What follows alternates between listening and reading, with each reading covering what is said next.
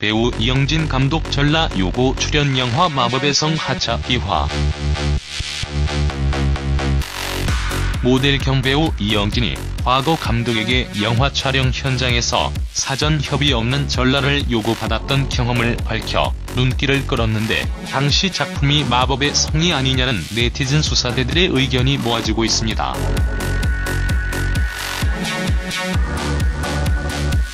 실제로 2002년 영화 마법성에 캐스팅됐던 이영진 노출 관련된 제작진과의 불화로 영화의 출연을 취소하기로 했다고 기사가 뜬 적이 있습니다.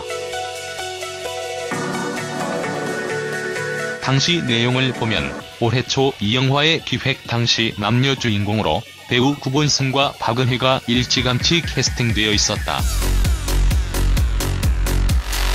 그러던 중 제작 발표를 앞두고 돌연 박은희가 중도하차했고 제작진은 부랴부랴 배우 이영진으로 대차했다. 이때만 하더라도 전화위복이라는 분위기였다. 그러나 이도 잠깐 촬영 중 이영진은 전라 수위에 혀를 내두르고 도저히 찍을 수 없다며 역시 하차했다는 비교적 자세한 내용이 흘러나왔습니다.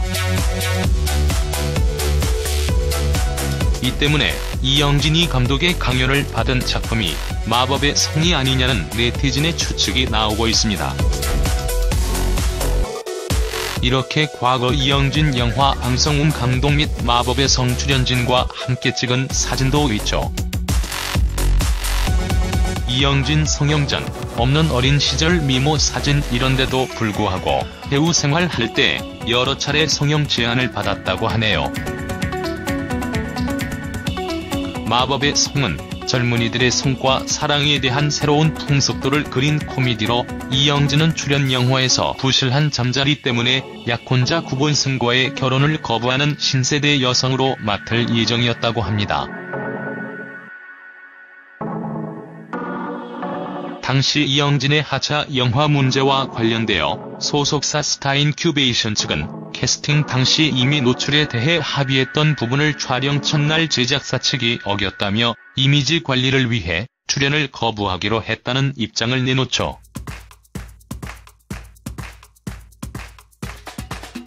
그렇게 우여곡절을 겪고 STV 시트콤 허니허니로 데뷔한 김전희 여주인공 자리를 맡게 됩니다.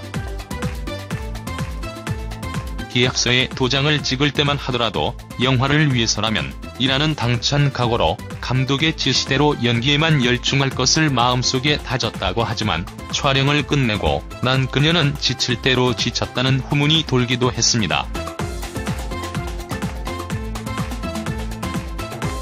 앞으로는 이런 불공정한 관행이 사라졌으면 하네요.